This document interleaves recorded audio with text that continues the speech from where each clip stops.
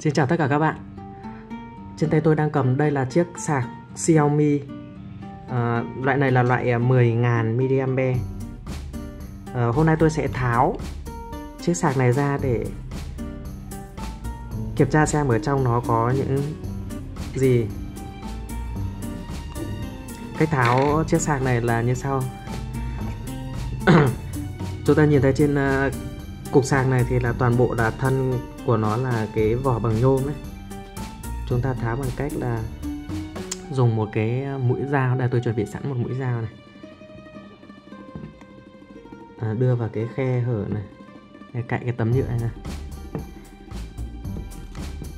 cái cục sạc này thì tôi đã tháo một lần rồi cho nên là cái lần tháo thứ hai này nó tương đối là dễ tháo. Đấy sau khi tháo cái tấm nhựa ra thì ta nhìn thấy là ở mặt này nó sẽ có những cái con ốc.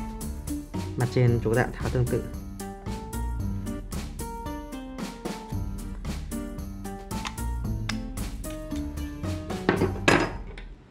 À, các bạn nhìn này, Ờ, cái giải giấy màu trắng này chính là cái cái chỗ đèn led báo pin.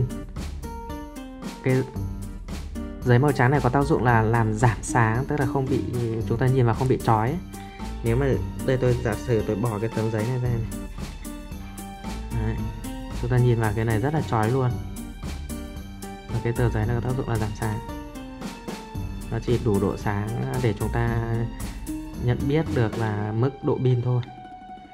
Bây giờ chúng ta sẽ cùng nhau tháo quả pin này ra. Cái tô vít này là tôi không có tô vít loại nhỏ, tôi phải chế. Loại này hàng đầu cái các bạn không mua được đâu.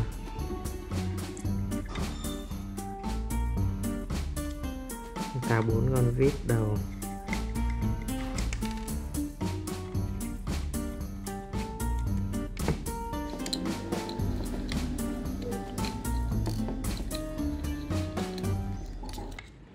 Đầu này cũng tương tự có bốn con vít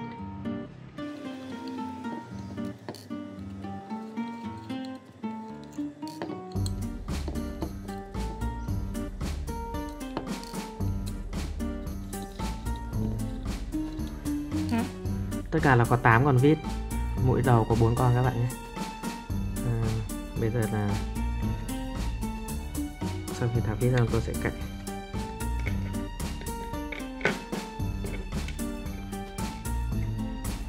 tôi nghĩ là tôi sẽ cắt phần đuôi trước.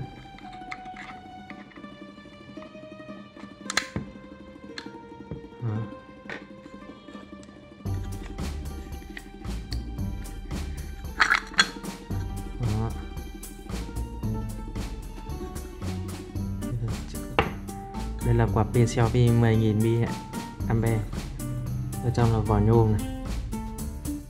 Ừ, khá là đẹp. Nhưng mà thực ra là tôi thấy cái vỏ nhôm này tôi, thực sự là tôi không thích lắm. Tại vì cái sạc này nó đi kèm, chúng ta hay dùng với điện thoại. Thì là cái vỏ nhôm này nếu mà để gần, nó là vỏ kim loại. Để gần điện thoại của chúng ta nó rất là hay gây xước cho điện thoại. Tại vì điện thoại của tôi vỏ cũng bằng nhôm luôn thì là nhôm với nhôm nó rất là cứng. Nó đè vào nhau, nó hay bị xước. Đây, có ba quả pin sạc cái này gọi là cell pin này, ba viên. Thì thực ra nó không có gì đặc biệt lắm. Ba viên cell và các cái dây điện ở đây chúng ta thấy này. Ở đây nó có một cái cảm tôi tạm gọi nó là cái cảm biến đây. Cảm biến nhiệt độ.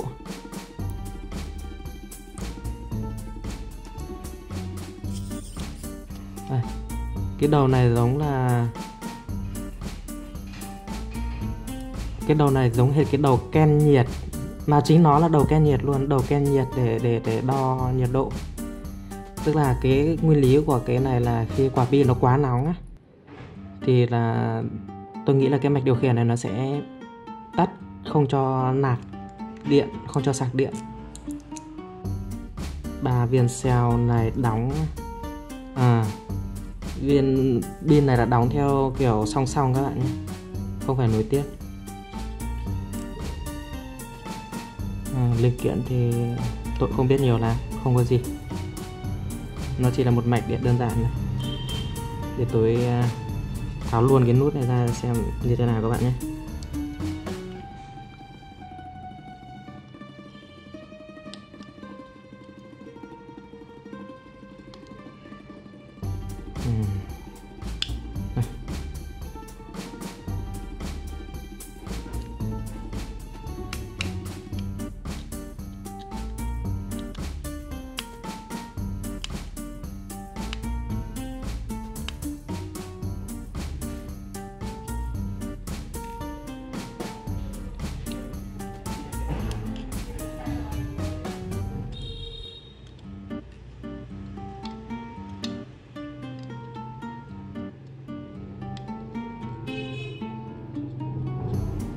Tôi phải làm cẩn thận bởi vì là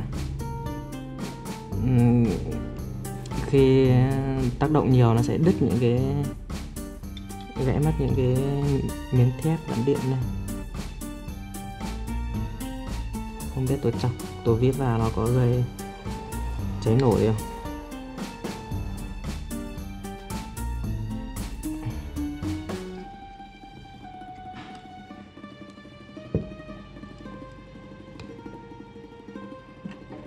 Tôi đang để cái máy quay ở trước mặt này nên khó, rất là khó thao tác Rồi.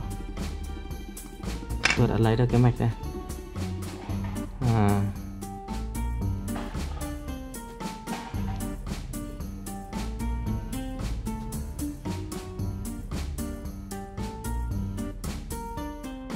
nhìn này cũng khá là xịn đấy các bạn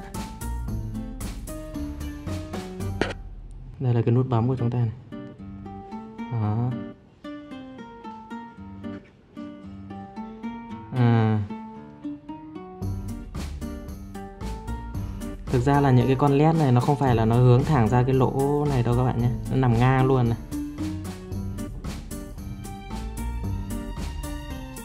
Như thế này cơ mà. Chúng ta là những cái con led này rất là sáng luôn.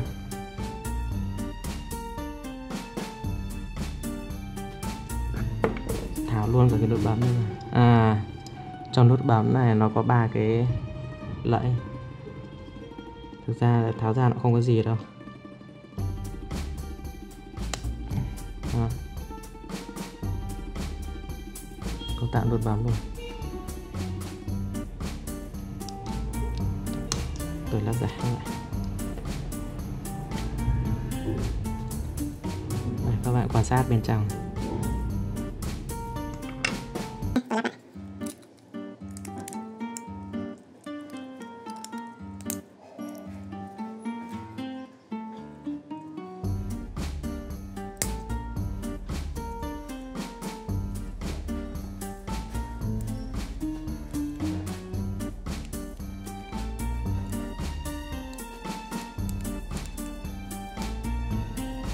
อืมตัวแรกงินแล้วป่ะเงินแล้วป่ะก่อนนะทำเป็นหนักเลย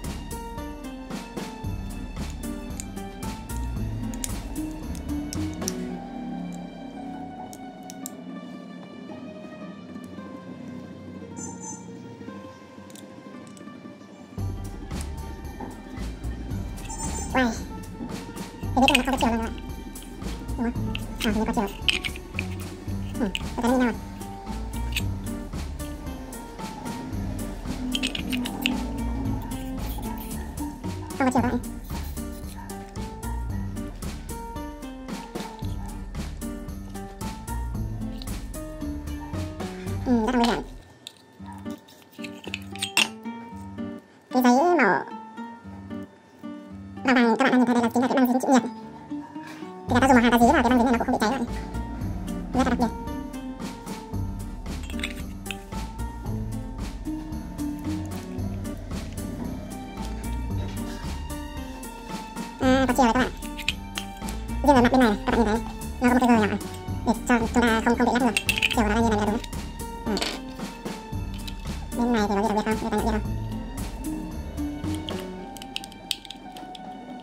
bên này cũng có chiều luôn các bạn nhé cũng là cái gờ nhỏ đây và ở đây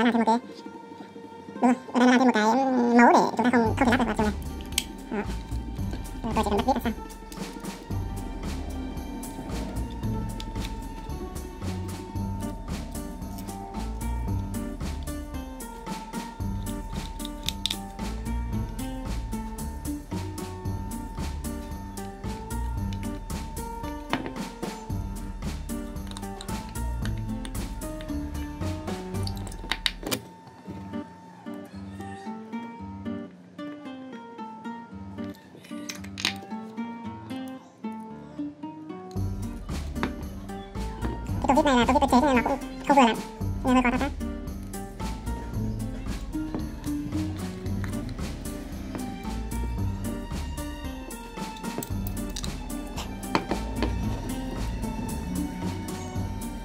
có một cái kiến nó di chuyển này